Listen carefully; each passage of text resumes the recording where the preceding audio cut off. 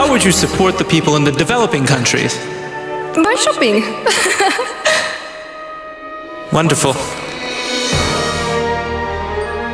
Maailma muuttuu ostos kerrallaan.